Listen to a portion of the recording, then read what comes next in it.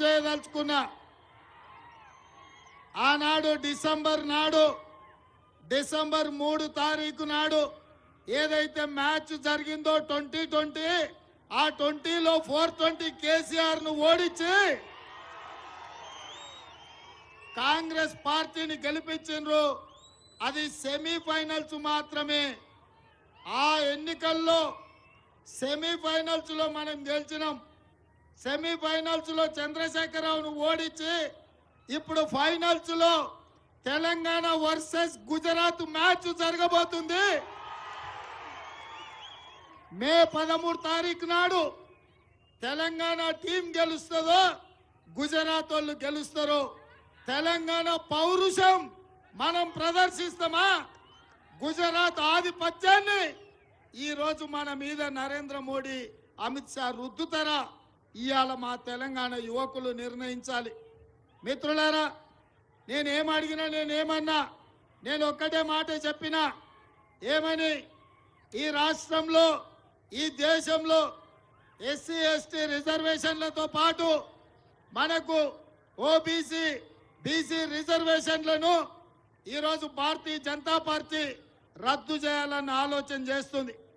ఈరోజు ఈ దేశంలో దళితులు గిరిజనులు డాక్టర్లుగా లాయర్లుగా ఇంజనీర్లుగా ఐఏఎస్లుగా ఐపీఎస్లుగా రాజకీయ ప- రాజకీయాలలో ఎమ్మెల్యేలుగా ఎంపీలుగా రాష్ట్ర మంత్రులుగా కేంద్ర మంత్రులుగా ఈరోజు రానిచ్చిందంటే కాంగ్రెస్ పార్టీ ఎస్సీ ఎస్టీ రిజర్వేషన్లు ఇచ్చింది.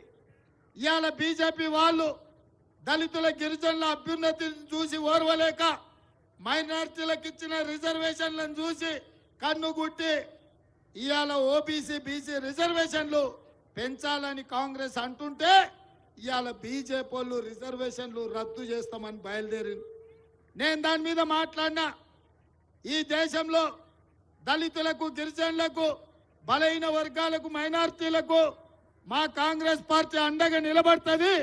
మీ రిజర్వేషన్లు తొలగించాలంటే ఊరుకునేదే లేదు.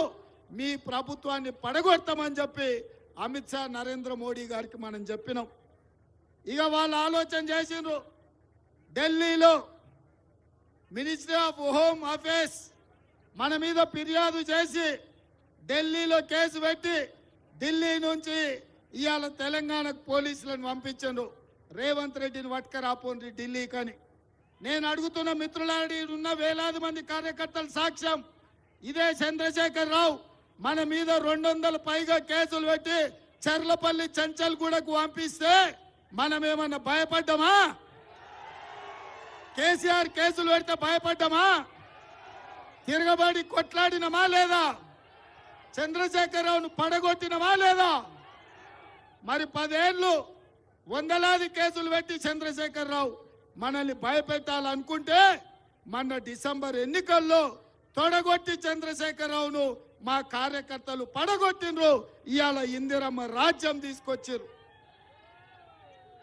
ఇక మరి నరేంద్ర మోడీ ఆయనకి చెప్పిండు లేకపోతే చంద్రశేఖర్ రావు ఆయనకి ఏమన్నా మతలాబు చెప్పంపిండో నాకు తెలియదు రేవంత్ రెడ్డిని మీరు అడ్డుకోలేరు.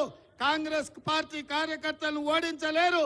మీరు కేసులు కట్టి ఢిల్లీకి తీసుకుపోయి వారం రోజులు అక్కడనే ఉంచుకుంటే ఆయన ప్రచారం జరగదు. ఆయన శేర్లింగంపల్లికి ఓడు. అప్పుడు రంజిత్ రెడ్డిని ఓడించవచ్చు అని వాళ్ళు అనుకుంటారు అందుకే ఇవాళ ఢిల్లీకి రమ్మంటే రానిపోయి ఏం పిక్కుంటారో పీక్కోండి. శేర్లింగంపల్లి పోతున్నా శేర్లింగంపల్లిలో బరాబర్ మీటింగ్ పెడతా రంజిత్ రెడ్డిని గెలిపించమని మా కార్యకర్తలకు మా ఆడబిడ్డలకు చెప్తా అని చెప్పిన. అందుకే ఇవాళ సోదరులరా చంద్రశేఖరరావు పోయిండు. నరేంద్ర మోడీ గారు వచ్చిండ్రు. మనల్ని కేసులు పెట్టి భయపెట్టడానికి. నేను అడుగుతున్నా ఈ తెలంగాణ నాలుగు కోట్ల ప్రజల్ని ముఖ్యంగా ఈ తెలంగాణ యువకుల్ని నేను అడుగుతున్నా ఈ తెలంగాణ పౌరుషానికి ఢిల్లీ ఆధిపత్యానికి ఈ ఎన్నికల్లో పోటీ. ఢిల్లీ వాళ్ళు ఢిల్లీ సుల్తాన్లు వచ్చి గుజరాత్ మోడీలు వచ్చి ఇవాళ మన తెలంగాణ మీద పెత్తనం చేస్తారంట మనల్ని ఓడగొట్టి ఎన్నికల్లో పడగొడతారంట. అందుకే నేను సవాలు విసురుతున్నా గుజరాత్ టీంకు మే పదమూడు నాడు జరగబోయే ఎన్నికల్లో మిమ్మల్ని డక్అవుట్ చేస్తాం మా కాంగ్రెస్ పార్టీని. అద్భుతంగా గెలిపించుకుంటాం. మా రంజిత్ రెడ్డిని పార్లమెంటుకు పంపిస్తాం. మా మూసీ రివర్ డెవలప్మెంట్ కోసం నిధుల కోసం మా రంజిత్ రెడ్డి పార్లమెంటులో కొట్లాడి కేంద్ర ప్రభుత్వం నుంచి నిధులు తెస్తాడు. మా మెట్రో రైలు కోసం నిధులు తెస్తాడు. చందానగర్ నుంచి బిహెచ్ఎల్ రామచంద్రాపురం వరకు మెట్రో రైలు పనిచేసే బాధ్యత మాది. ఇవాళ హైటెక్ సిటీ నుంచి ఫైనాన్స్ డిస్టిక్ వరకు అమెరికన్ కౌన్సిలేట్ వరకు మెట్రో రైలు తెచ్చే బాధ్యత మాది. నాగోల్ నుంచి ఎల్బీ నగర్ ఎల్బీ నగర్ నుంచి హయత్ నగర్ వరకు మెట్రో రైలు తెచ్చే బాధ్యత మాది.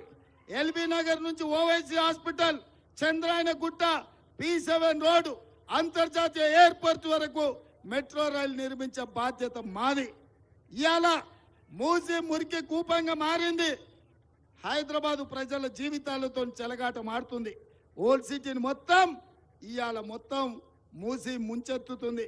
అందుకే ఇవాళ మూసి రివర్ డెవలప్మెంట్ను చేయడం ద్వారా అవసరమైతే లక్ష కోట్లైనా ఖర్చు పెట్టి మూసిని సుందరీకరించి ఈ నగరానికి వట్టిన మొత్తం మురికిని వదిలించే బాధ్యత ఇవాళ కాంగ్రెస్ పార్టీ తీసుకుంటుందని చెప్పి నేను మీకు అందరికీ చెప్తున్నా.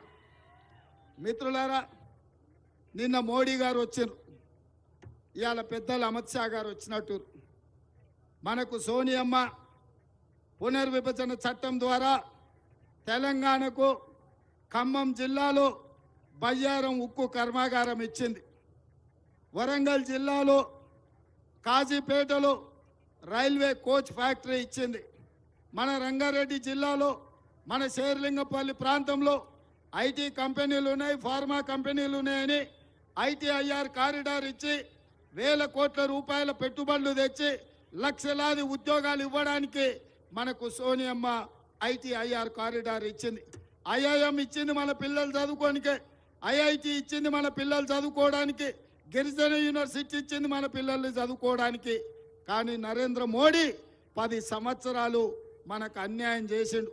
ఎప్పుడు అడిగినా మనకేమి ఇయ్యలే. ఆంధ్రప్రదేశ్కు ప్రత్యేక హోదా ఇస్తాని అక్కడ వాళ్ళకు కూడా ఇయ్యలే. కర్ణాటక కరువు వస్తే నిధులు ఇవ్వలే.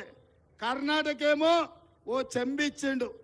ఆంధ్రప్రదేశ్కేమో రెండు పాసిపోయిన లడ్డూలు ఇచ్చిండు. మరి తెలంగాణకి ఏమిచ్చిండ? ఏమిచ్చిండు తెలంగాణకి ఏమి ఇచ్చిండు ఏమిచ్చిండు తెలంగాణకు? మనం అడిగింది ఏంది మనం మెట్రో రైలు అడిగినాం మోడీని. ఏమిచ్చిండు మనకు? ఇంత చిన్నగా చెప్తే ఎట్లరా నాయన? మనం తెలంగాణకు మెట్రో రైలు అడిగినాం. మోడీ గాడిద గుడ్డిచ్చిండు. మన తెలంగాణకు మనం మూసి రివర్కు నిధులు అడిగినాం. మోడీ మనకు గాడిద గుడ్డిచ్చిండు. తెలంగాణ కోసం బయ్యారం ఉక్కు కర్మాగారం మనం అడిగినాం. భారతీయ జనతా పార్టీ మనకు గాడిద గుడ్డిచ్చింది. తెలంగాణ కోసం రైల్వే కోచ్ ఫ్యాక్టరీ మనం అడిగినాం బీజేపీ వాళ్ళు గాడిద గుడ్డిచ్చిండ్రు. రంగారెడ్డి జిల్లాకు ఐటీఐఆర్ కారిడార్ అడిగినాం బీజేపీ వాళ్ళు బీ మన నరేంద్ర మోడీ గాడిద గుడ్డిచ్చిండు. మనం పాలమూరు రంగారెడ్డి ఎత్తిపోతల జాతీయ ప్రాజెక్ట్ అడిగినాం మనకేమిచ్చిండు మోడీ? ఏమిచ్చిండు మోడీ? ఏమిచ్చిండు మోడీ? అమిత్ షా గారు ఏమిచ్చిండు మనకు? గట్టిగా చెప్పాలరా నాయన మోడీకి వినిపించాలి. మనము మన నగరానికి మెట్రో అడిగితే గాడిద గుడ్డి ఇచ్చిండు. మూసికి నిధులు అడిగితే గాడిద గుడ్డి ఇచ్చిండు. పాలమూరు రంగారెడ్డి ఎత్తిపోతలకు జాతీయ ప్రాజెక్ట్ అడిగితే గాడిద గుడ్డి ఇచ్చిండు. మరి నేను అడుగుతున్న మిత్రులారా